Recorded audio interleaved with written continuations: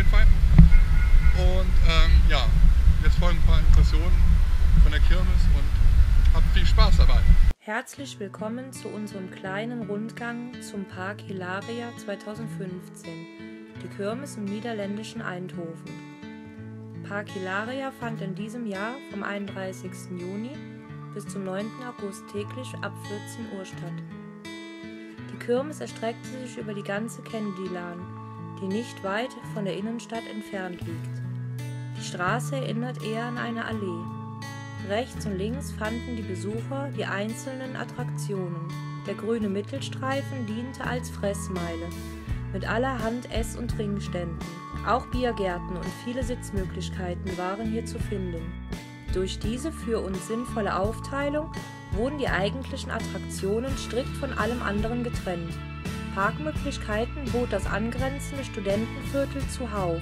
Hier konntet ihr in direkter Nähe zur Kirmes für 3 Euro parken. Besonders an Park Hilaria ist wohl die eigene Kirmesseite mit vielen Coupons, die an allen Tagen nutzbar waren und den Geldbeutel schonten. Aber auch im Ganzen waren die Attraktionen hier im Vergleich zu deutschen Volksfesten wesentlich günstiger. Kommen wir nun zu den Attraktionen. Anfangen möchten wir mit den etwas schnelleren. Hier sind unter anderem folgende Fahrgeschäfte zu nennen. Soundmaschine,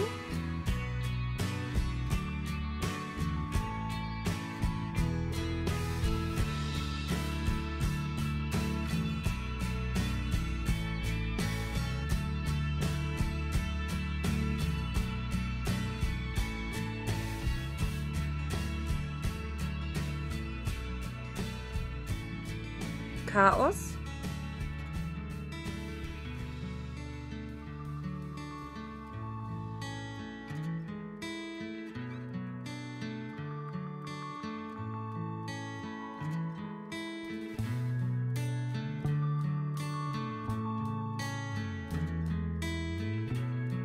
Heartbreaker,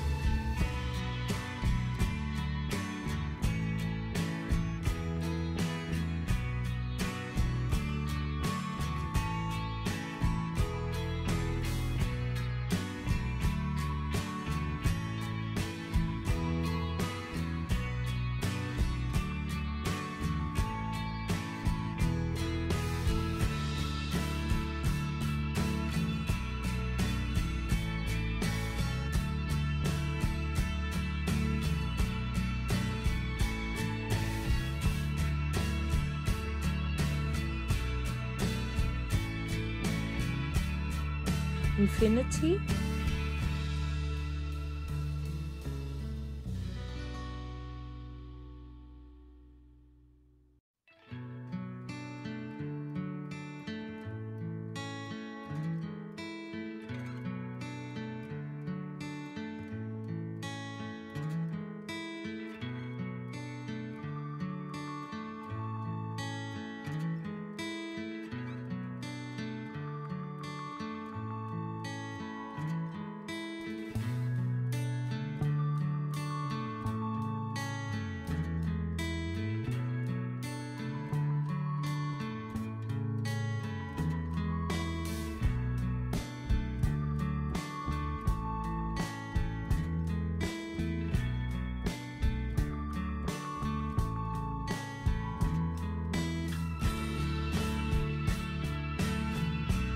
den ähnlichen Bomber.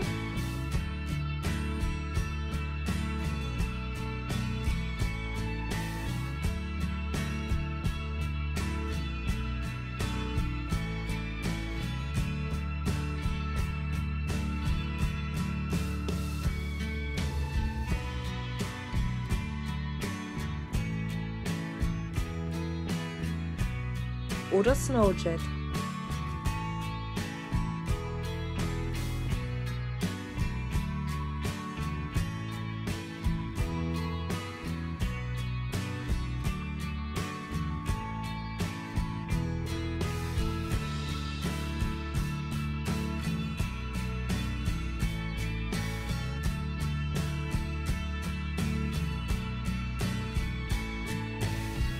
Auch ein Autoscooter durfte in Eindhoven natürlich auch nicht fehlen.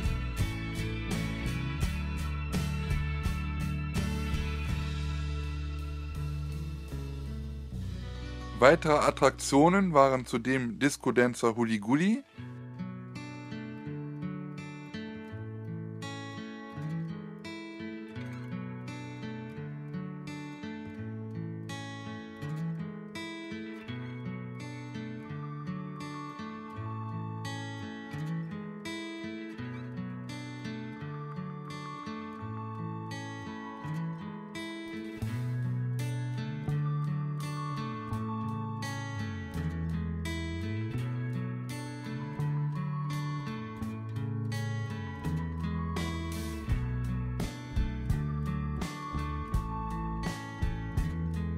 der Simulator Movie Experience,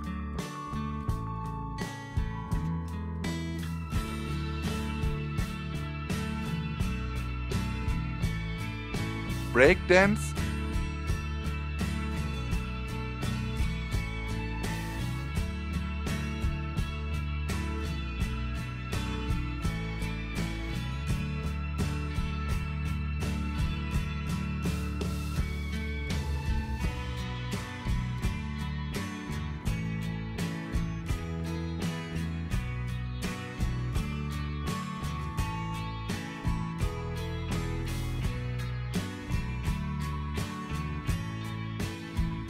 sowie eine klassische Raupenbahn, die vor- und rückwärts fährt.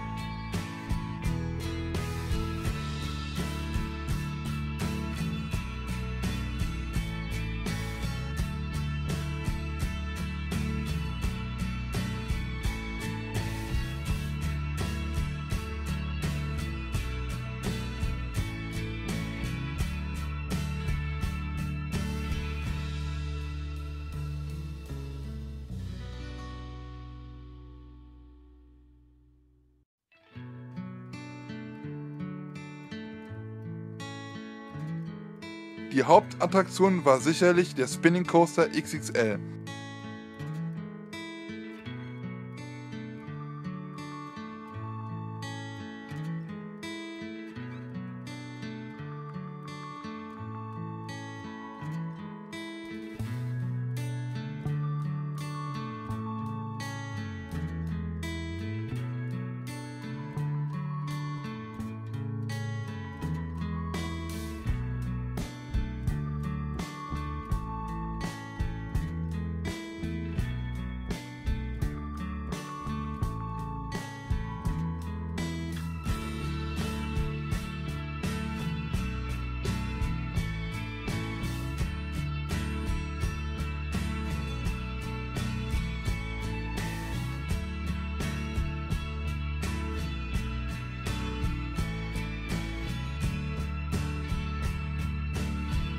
Aber auch Kinder kamen bei Park Hilaria voll auf ihre Kosten. Hier wäre zum Beispiel die zwei verschiedenen Kindercoaster zu nennen. Da wäre Familie Achterbahn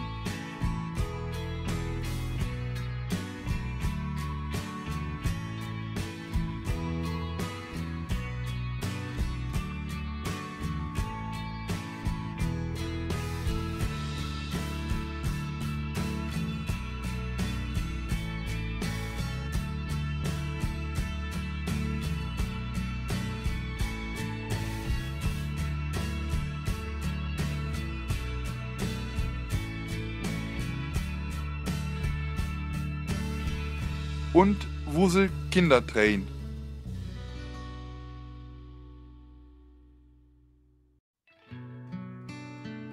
Weitere Kinderfahrgeschäfte waren zudem Captain Hooks Stromreis, was so viel heißt wie Captain Hooks Traumreise,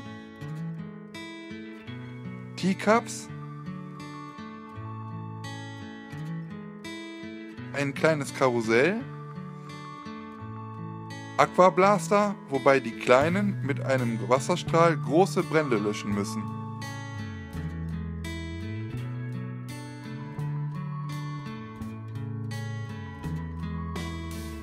Minicar, ein Autoscooter mit wirklich winzigen Wagen.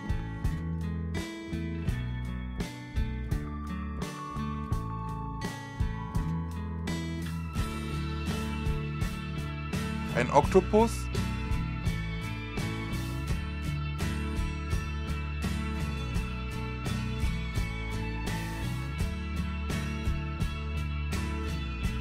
Jumbo-Karussell,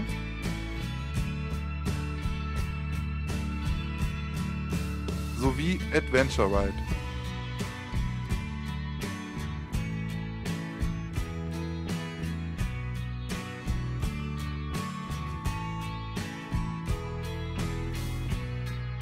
Auch lieber von schaurigen Gruselspaß kam mit zwei verschiedenen Geisterbahnen in Eindhoven voll auf ihre Kosten. Hier gab es zum einen das Omen,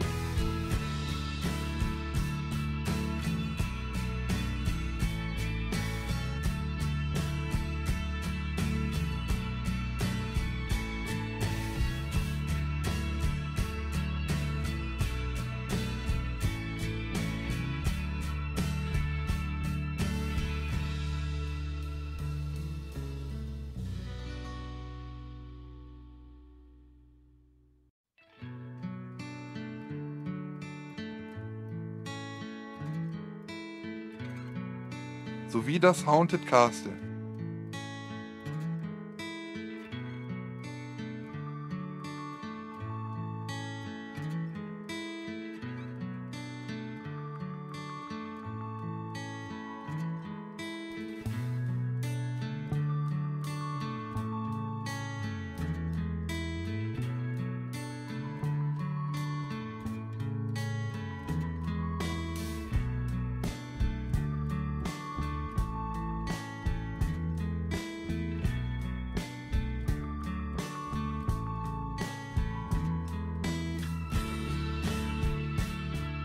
Auch Park Hilaria kam natürlich nicht ohne Fanhäuser aus.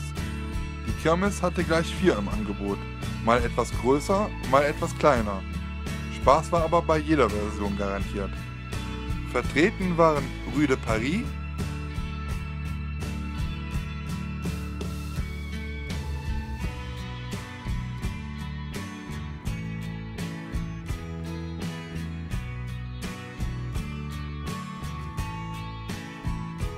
Cakewalk.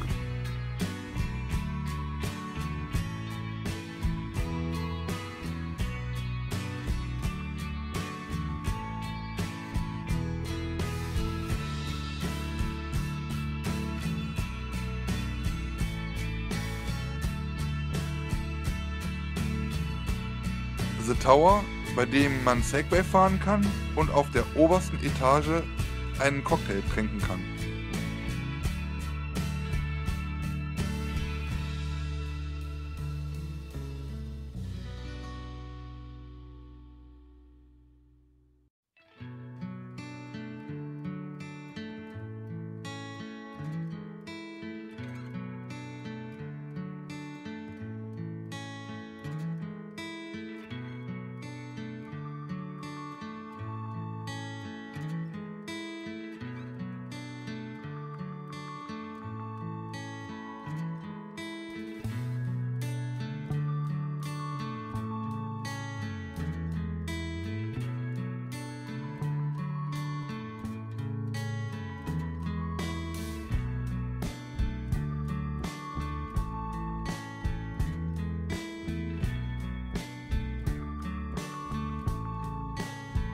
Sowie New York, New York, das wohl für uns beste Funhaus der Kirmes.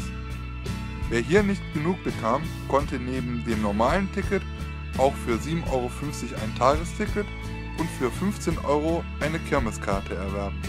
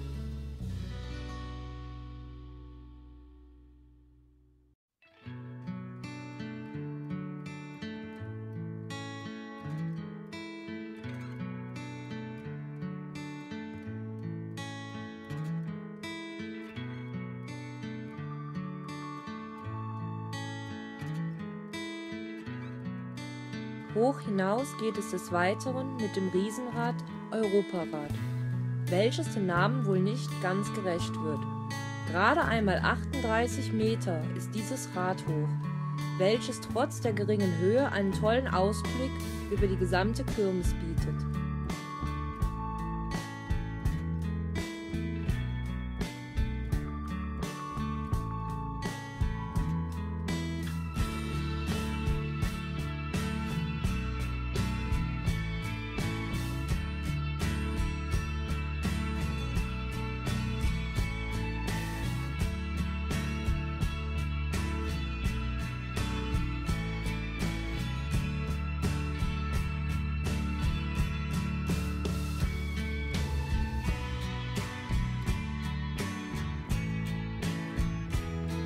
Neben den vielen Attraktionen kommen auch die Glücksspielfreunde voll auf ihre Kosten.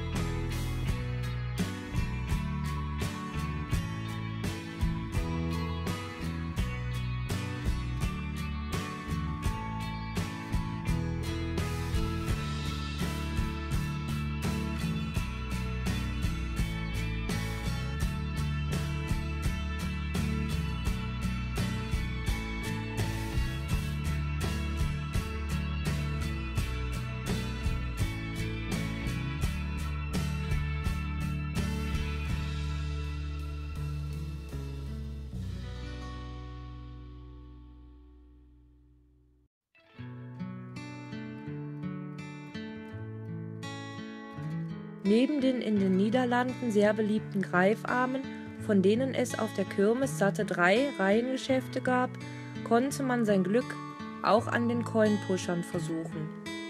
Davon bot Park Hilaria zwei Geschäfte. Leider waren die Punkte für die unterschiedlichen Preise hier so hoch angesiedelt, dass sich das Spielen hier kaum lohnte. Schade eigentlich.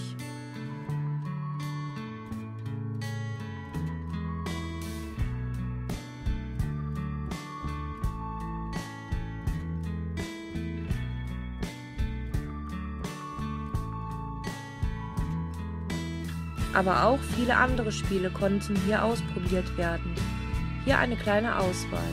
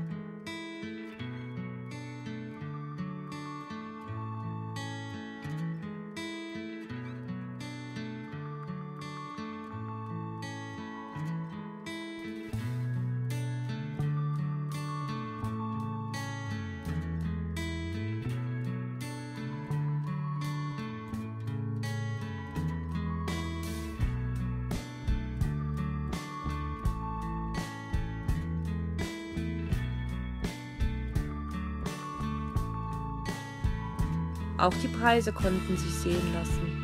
Neben iPads und iPhone konnte man an einem Stand sogar einen echten Whirlpool gewinnen. Wie eingangs schon erwähnt, wurde auch allerhand für das leibliche Wohl geboten. Das große Festzelt bot neben Getränken auch ein täglich wechselndes Programm.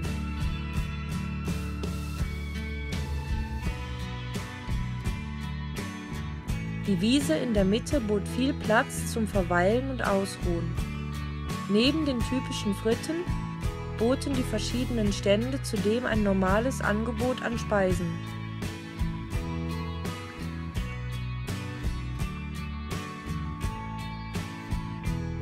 Kommen wir nun zu unserem Fazit. Der Besuch der Kirmes in Eindhoven lohnt sich wirklich. Auch wenn hier die einzelnen Attraktionen vielleicht etwas kleiner ausfallen, als wir es in Deutschland von den großen Volksfesten gewohnt sind, bietet Park Hilaria viel Abwechslung. Auch die Eintrittspreise der verschiedenen Rides sind nicht wirklich teuer. Zudem kann man mit den Coupons, die dort ausgegeben werden, noch einmal richtig sparen sei es beim Essen, den Spielen oder Attraktionen. Gerade für Leute, die Spaß an den unterschiedlichen Spielen wie den Greifarm haben, wird viel geboten. Wenn man die Anzahl der Rides mit den Glücksspielständen mal vergleicht, überwiegen hier die Glücksspiele deutlich. Der Unterschied zu den Volksfesten in Deutschland ist spürbar, jedoch nicht unbedingt schlecht. Wir würden einen Besuch auf jeden Fall empfehlen. Wir würden gerne mal von euch wissen, ob ihr selbst bereits mal eine Kirmes im Ausland besucht habt. Und wenn ja, welche Unterschiede ihr bemerkt habt. Über eure Kommentare und Feedback freuen wir uns natürlich wie immer. Abonniert uns, um kein Video mehr zu verpassen. Im Anschluss folgen noch ein paar Impressionen aus Eindhoven. So, haben wir wieder mal etwas gelernt. Vielen Dank fürs Zusehen und bis zum nächsten Mal. Line und Ben von der Funtime Arena.